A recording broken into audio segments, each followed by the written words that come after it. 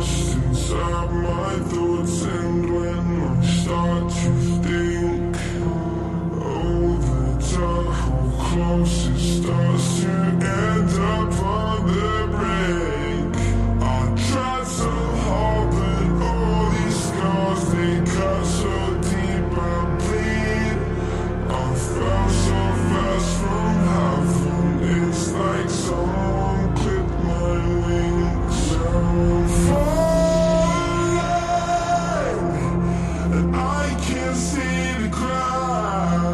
cruel.